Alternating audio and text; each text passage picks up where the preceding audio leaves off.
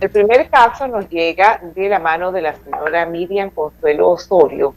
y el tema que ella quiere tratar está relacionado con derecho al voto y la morosidad. Eh, y justamente la señora Miriam nos dice que en su documento de condominio se prevé que aquellos propietarios que se encuentren insolventes no pueden eh, votar ni en las eh, ni en las asambleas de propietarios y tampoco pueden emitir su opinión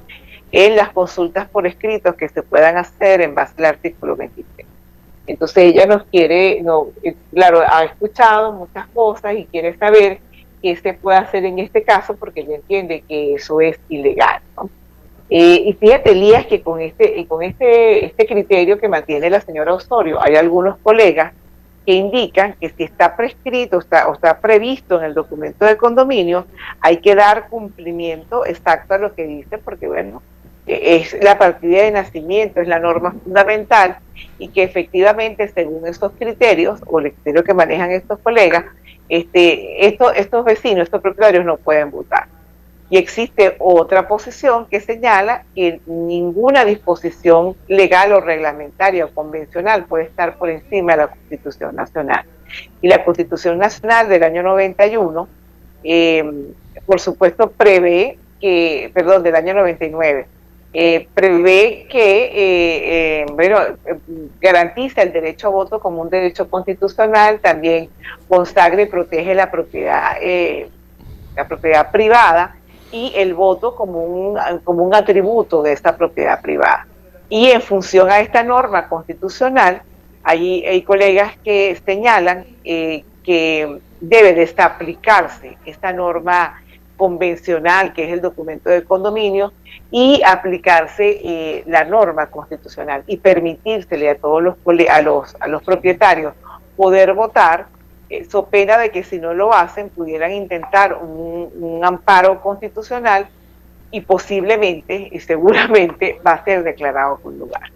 Entonces, la recomendación que yo le, que le podemos hacer, Elías, y me gustaría complementar con tu, con tu visión,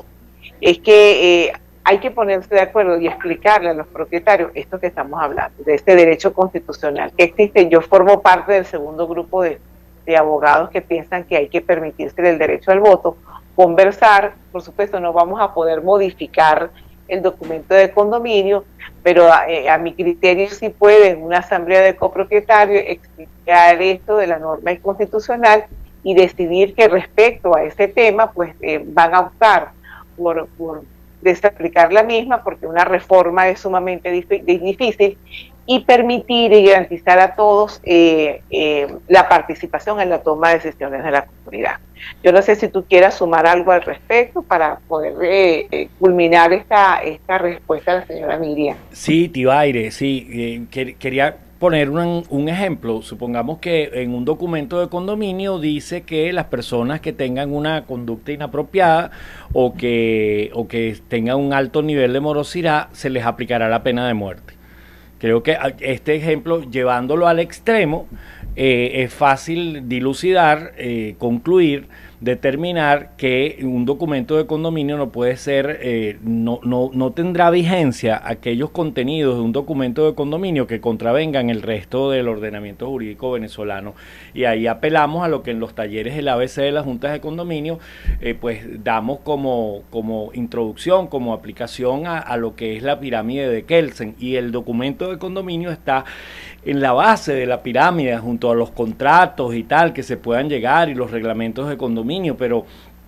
no pueden contravenir esto. Pero además, eh, eh, la ley de propiedad horizontal y los documentos de condominio tienen una relación muy particular. La ley de propiedad horizontal, yo creo que este es un caso único en, en el ordenamiento jurídico venezolano. La ley de propiedad horizontal en algunos casos específicos renuncia a su vigencia en beneficio del documento de condominio. Dice, salvo que el documento de condominio disponga algo en contrario o salvo las disposiciones que tenga el documento de condominio, palabras más, palabras menos. Solo en esos aspectos el documento de condominio podrá estar por encima de la ley de propiedad horizontal y siempre y cuando lo que esté contenido en esa previsión en el documento de condominio Tibaire no contravenga el ordenamiento jurídico, o sea, otras instancias, otros niveles de la, de la legislación venezolana. O sea que aquí queda, queda muy claro que nosotros no podemos limitar el derecho al voto de los copropietarios por estar insolventes en un momento determinado, que hay otros mecanismos, hay otros procedimientos, pero que ni en la legislación en general en Venezuela, ni tampoco en la propiedad, en la ley de propiedad horizontal, queda abierta esa posibilidad. Hay montones de casos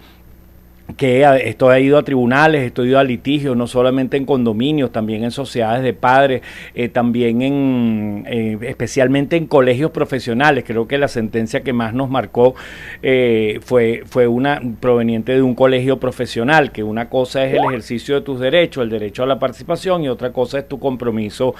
con el aporte económico. Espero, Tibairi, que con estas, con estas dos miradas, con estos elementos, pues le, le hayamos dado una apropiada respuesta a a, nuestros vecinos que nos escriben a través de info arroba